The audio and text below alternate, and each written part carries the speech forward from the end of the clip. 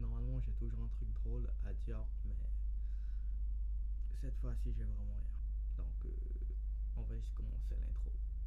Attends. Non, j'ai toujours rien. Attends, attends. Non, j'ai toujours rien. Bon, allez. Intro. Salut, salut tout le monde, c'est Tony King ici. C'était quoi ça? Et aujourd'hui, on va parler de la Donc, avant de commencer, il faut que vous compreniez que je suis pas Donald Trump, même si je fais ça à chaque fois. Donc, avant de commencer, il faut que vous sachiez que je ne suis pas l'un de ces soi-disant pacifistes qui dit Oh, la violence, c'est terrible. Et 5 minutes après, il faut déployer un SDF parce qu'il lui a demandé un euro. Donc non, je suis pas pacifiste.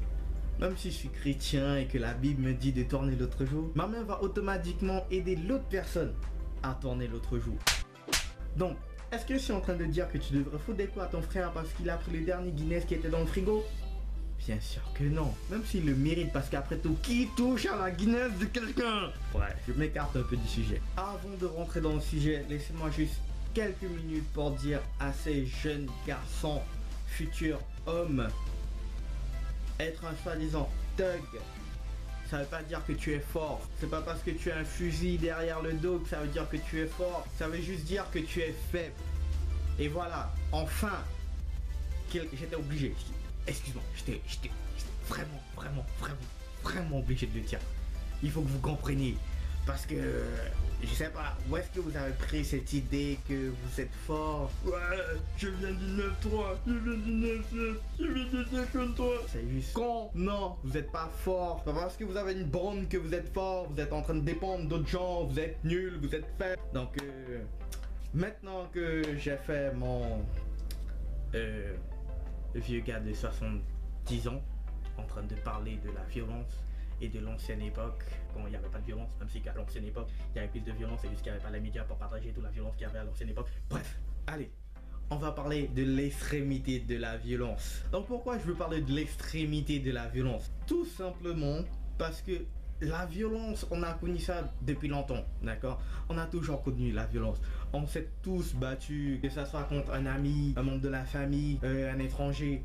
Et même si tu t'es jamais battu de ta vie, sous ça, désolé, tu as au moins réfléchi, pensé, médité sur le fait de frapper quelqu'un. Mais c'est pas le fait de frapper quelqu'un ou le fait de penser à frapper quelqu'un, mais c'est l'extrémité. Ça veut dire c'est jusqu'où tu vas avec cette pensée, c'est jusqu'où tu vas avec cette frappe. Et c'est de ça que je veux parler. Maintenant, de temps en temps, pas tout le temps, les paroles fonctionnent pas. Ou de temps en temps, on va perdre contrôle et on va juste mettre Oh, une seule ou deux Mais va pas jusqu'à trois. Sauf s'il mérite bien d'aller jusqu'à... Non, non, non, non, non, non, non. Sérieusement, sérieusement. Reviens. Mais quand tu perds contrôle, il faut que tu as une limite. D'accord? Une barre que tu vas jamais dépasser. Il faut que tu arrives là.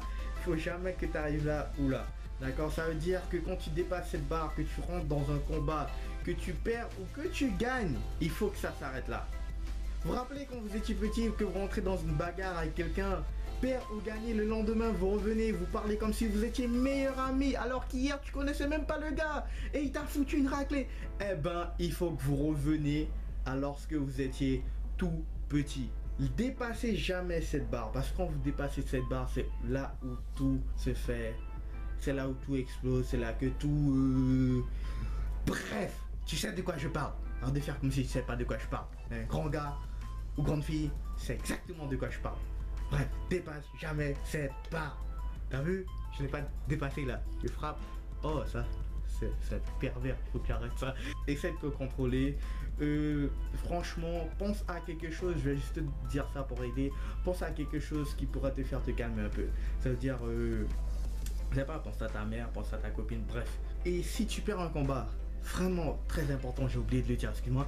Si tu perds un combat, reviens jamais pour prendre une revanche.